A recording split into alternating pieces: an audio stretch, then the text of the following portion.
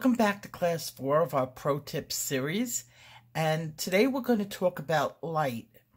In class three, we talked about blending and putting pencils together and creating a gradient.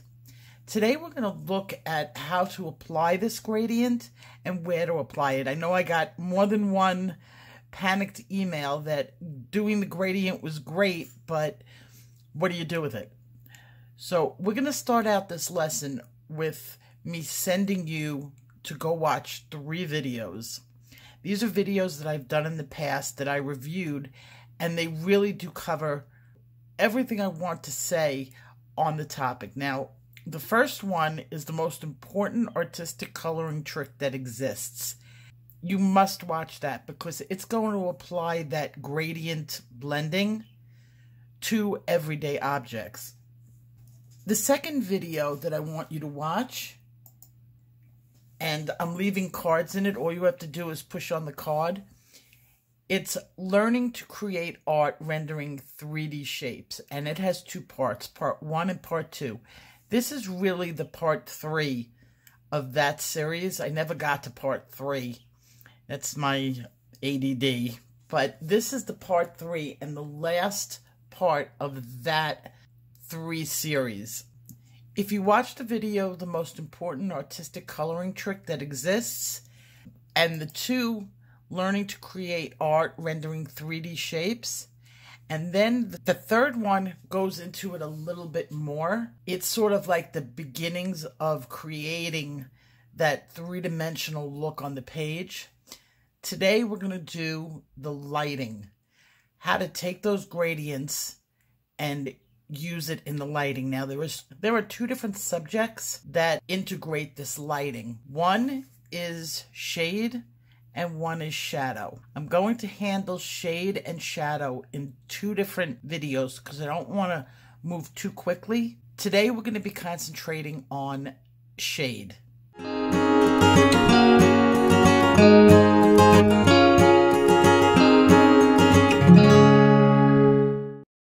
So, in the context of art, what do I mean by shade? When you go outside and it's bright and it's sunny and somebody says, go into the shade, you look for the first area that's darker. When you go into that darker area, the colors change, but are the colors really changing? No, it's the it's the light that changes the color really remains the same. The, the tree doesn't magically change, the lighting changes. Well, art is an illusion, and you're going to be creating that art on the paper. So that's what I mean by shade. We're going to shade this. Now, shadow is different. Shadow is what is cast off an object by the object blocking the light. You're going to handle these two things differently. And that's where a lot of people get confused. When you're shading something, you're creating the illusion of 3D. When you're shadowing something, you're adding a casting light onto the object. Shading you're going to do throughout the entire picture. Shadow you're going to do at the very end. And a lot of people give up on the shadow. They don't know how to do it. This is why I'm handling it in two different videos. One is going to be just on shading and the next one is going to be just on shadowing so that we don't get the two concepts confused. This picture I pulled from Nice Little Town number six. It's available on Etsy. It's by Tanya Stolova. She's got a fantastic book series. They're all similar pictures but different and they usually involve little mice it's cartoony and whimsical and fairy-like and if you like any of the hardcover books M Maria Trolle, Hanna Karlzon any of those artists you will love tanya's series. So this is one that i picked out and i picked out this picture because it had a lot of ways of being able to be shaded and shadowed. I took this picture and i did it like a beginner would have done it. Very flat, no shading. The colors do not portray a three-dimensional form in any way. There's no depth. And this is how most beginners and some intermediate end up with their pictures because they didn't concentrate on the shading. What I did was the first layer. The first layer is always the most boring. You got to get that wax down on the paper. And I did it very flat looking. You can handle shading in two different ways. The first way is by taking those pencils and creating that blend using the three pencils. When I said a dark, a medium, and a light. Now, they don't have to be the same colors. You can create a tonal effect, and what I mean by tone is um, the lightness and the darkness on the paper. You can create it with different pencils, and it could be an orange, a yellow, and a red. Or it could be a uh, three pencils that sit directly next to each other. Um, crimson red, crimson lake, and a pink. One would represent the light, one would represent the medium, and the dark. Another way of getting shade on your picture is to use your gray pencils. Now, a lot of people, oh, I don't use gray. I've had people actually say they've never touched their gray pencils because they think that the color gray in the box of the Prismacolor or whatever set you're using is only the gray whenever you are coloring a gray object. And that's not what they're for. Your gray pencils are there for you to tone and tint and shadow your paper. You can add gray into any of these colors and create the same color, but a darker version of that color. We're going to develop this picture and we're going to do it in all the ways so that you get a better idea of how to handle things. The first colors that I'm choosing to use is going to be a 3 and it's going to be sienna brown, dark brown, and yellow. Yellow representing the lightest color, dark brown the darkest, and then sienna brown is your middle tone. Tones will go from white all the way through till black. Black is the absence of light. So you always use your black and white pencil in addition to your three or your darkest gray. I've started off with the mid-tone in some of these areas. Now this is the color of sienna brown. You could see it's just, it blends right in. Whatever is going to be underneath something is going to be darker.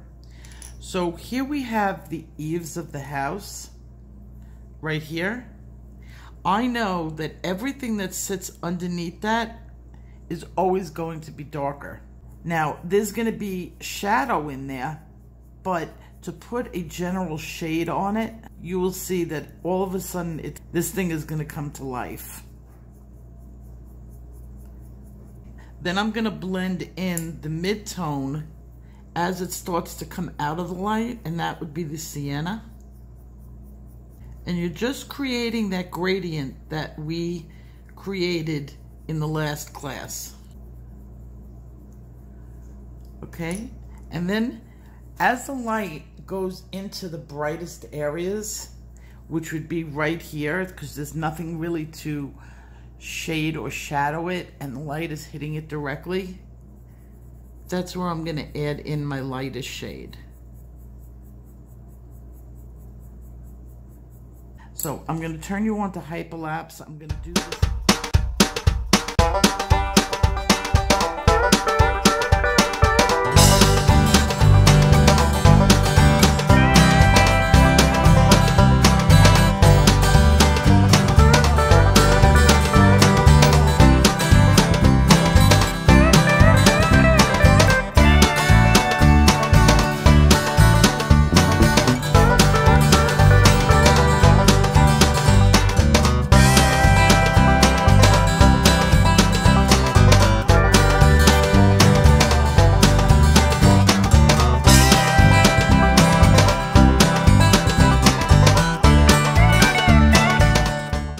Now you can easily see that it's starting to take on some dimension. I've still only used the dark brown, the sienna brown, and this is probably canary yellow. Then I blended it up with a white pencil. That helped tone it down a little bit. It didn't make the yellow seem so brass. The one color I haven't added in is black, and I'm going to do that now. It's a little bit early for black on any picture. I wouldn't normally put black, but I just want you to see the difference, what it can do for a picture. I'm going to add in a couple of other colors. If you're doing the CMW course, you should be writing this down. They should be going on your blending pages and in the individual color pages. And the colors that I'm going to be adding in is a combo of pumpkin orange, burnt ochre, and then I'm going to add in some espresso. So these are the three newest ones. I'm still going to go back and forth, and that's the yellow, the sienna, and the dark brown. So you have two different triplet combos so far.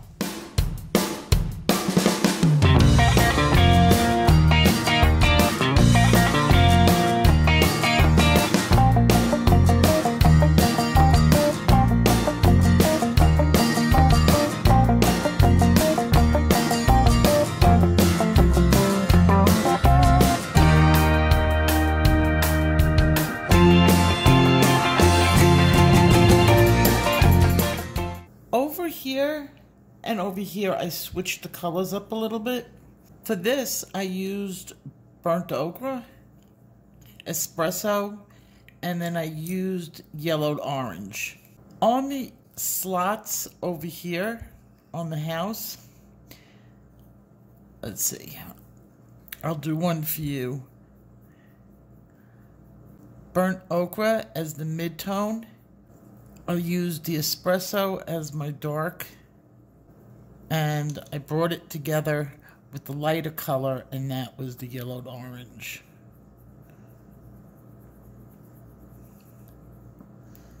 Now to get an even darker tone on it, you add a little bit of black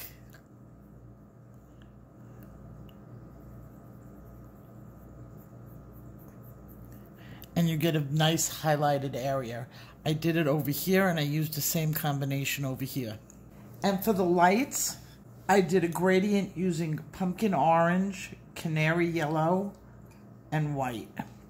And that's how I got the lights and the lamplight. The only other thing on here that I haven't picked my colors for really are the plants. And I'm gonna just use a combination of lime peel this is lime peel. This is apple green. I'm going to add in some true green, some dark green, and that's how I'm going to do the plant life.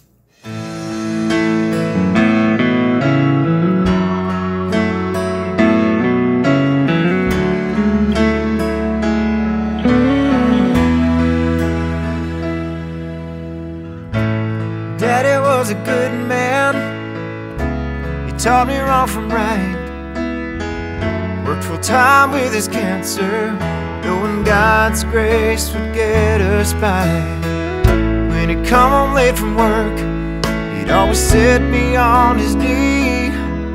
He'd say, Son, love your country and protect your family. He charged burning buildings, fought the war in 73 from that day on. Is who I wanted to be An American Idol. Standing strong in his faith Don't need a million people To show him the way. He can't dance like a pop star. He can't sing a song in tune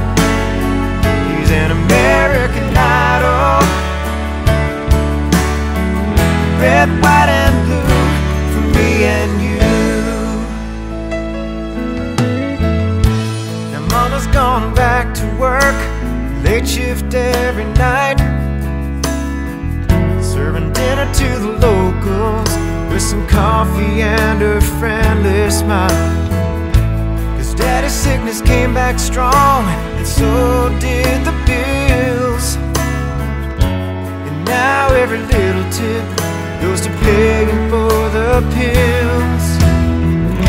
She's dead on her feet, never looks for sympathy.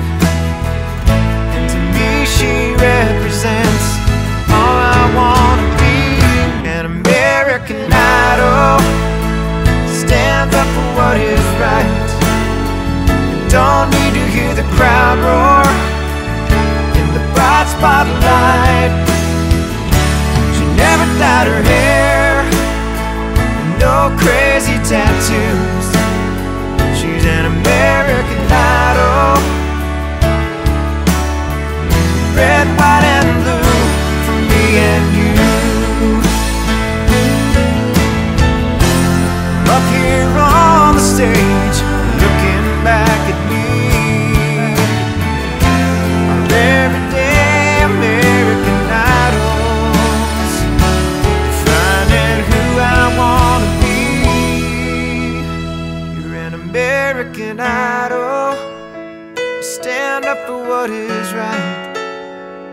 Don't need to hear the crowd roar in the bright spotlight. Don't need to dye your hair.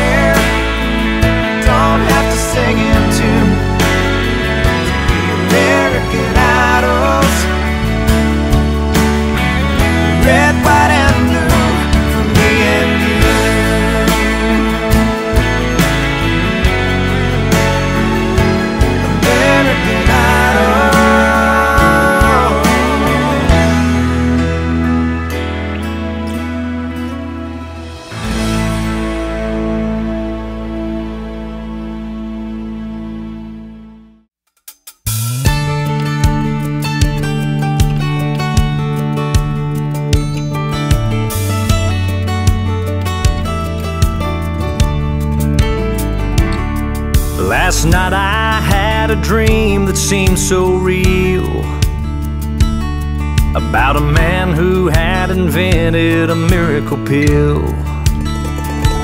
Said it'll cure every disease, fix every disability. The world is gonna be completely healed. Then a young man in a wheelchair stilled the crowd. When he raised his hand, said, Sir, can I speak now?